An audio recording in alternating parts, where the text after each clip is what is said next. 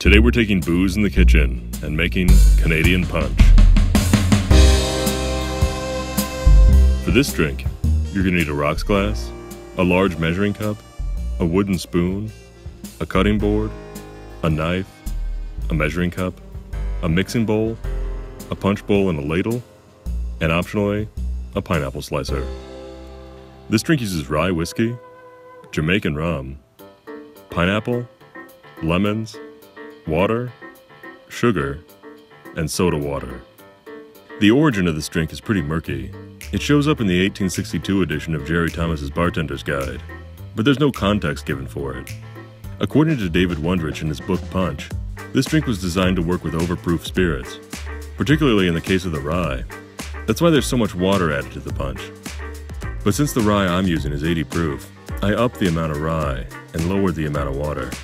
If you have a barrel proof rye, you'd make it 2 to 1, water to rye. But in this case, I'm making it nearly 1 to 1.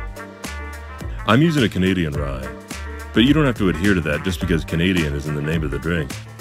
Feel free to use your favorite rye, particularly if it's overproof, and preferably if it's barrel proof. Lemon pairs with most spirits, but pineapple is a little more particular. However, it works really well with rye, and of course with rum. This is a light, citrusy, fruity punch with just the right amount of sweetness. It's perfect for a party, but you might want to put a warning label on it, because it's strong enough to turn out your lights. The original recipe was four times the size of this one.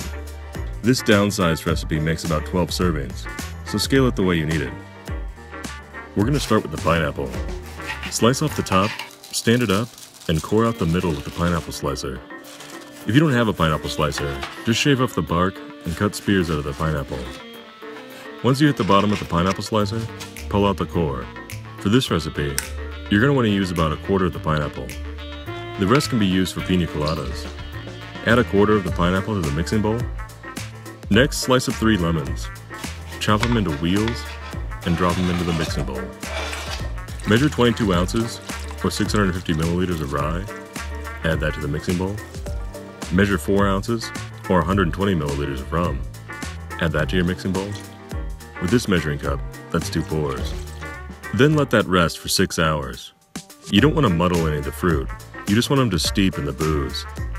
Later, combine your sugar and water. Measure 3 ounces of sugar, add that to your punch bowl. With this measuring cup, that's two pours.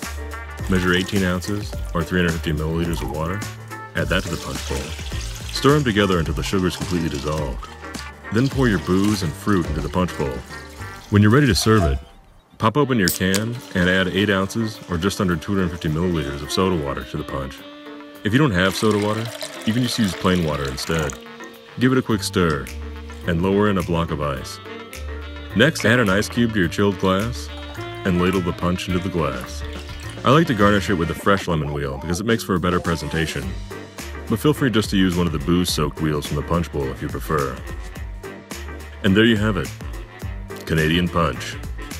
Enjoy. Click here for more videos.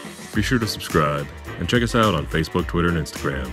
For links, more info, and the two printed recipes, check out the description below.